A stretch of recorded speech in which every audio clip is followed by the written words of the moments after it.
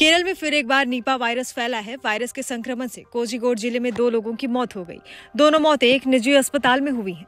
स्वास्थ्य विभाग के मुताबिक मरने वालों में से एक के रिश्तेदार की हालत भी गंभीर है और उसे आईसीयू में एडमिट किया गया है।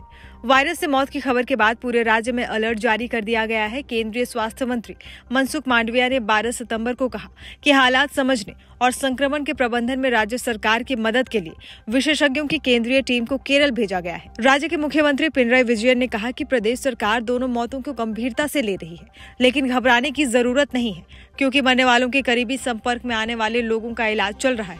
हालाँकि इसे लेकर लोगों की चिंता भी काफ़ी बढ़ गई है। जानिए क्या है नीपा वायरस, क्या है इसके लक्षण, और ये कितना खतरनाक है। क्लीवलैंड क्लिनिक के मुताबिक नीपा वायरस एक जानलेवा वायरस है, जो जानवरों से इंसानों में फैलता है। यही वजह है कि इसे जूनोटिक वायरस भी कहा जाता है। ये फ्लाइंग फॉक्स नाम के चमगादड़ से फैलता है। इस वायरस का नाम मलेशिया के एक गाँव पर पड़ा है, जहाँ सबसे पहले इसका मामला सामने आया था।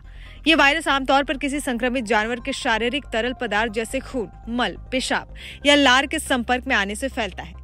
चमगादड़ के अलावा ये वायरस सुअर, बकरी, घोड़े, कुत्ते या बिल्ली जैसे अन्य जानवरों के ज़रिए भी फैल सकता है।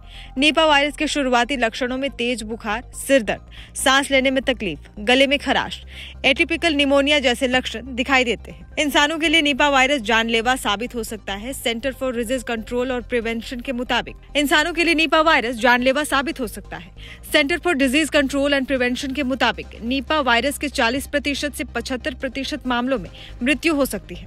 हालाँकि मौत का आंकड़ा इस बात पर भी निर्भर करता है कि इस बीमारी से बचाव के लिए स्वास्थ्य अधिकारी किस तरह इसे मैनेज कर रहे हैं।